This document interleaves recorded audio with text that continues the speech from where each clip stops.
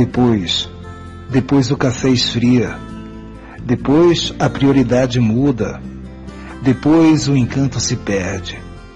Depois o cedo fica tarde. Depois a saudade passa.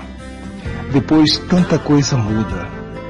Não deixe nada para depois, porque na espera do depois você pode perder os melhores momentos, as melhores experiências e os melhores e mais sinceros sentimentos.